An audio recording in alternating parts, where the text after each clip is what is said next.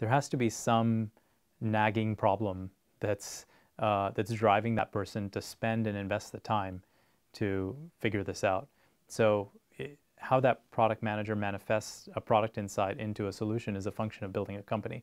Every startup is effectively a hypothesis, right? That's going to get proven or disproven, and the market has all the answers, and it's going to tell you whether it works or it doesn't work.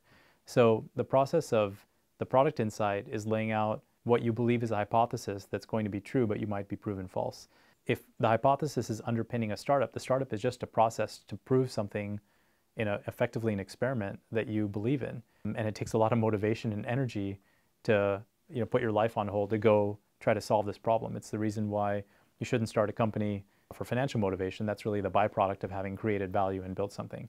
So I think it gets back to the motivation behind the people and are they willing to focus on coming up with that insight, especially in a B2C company?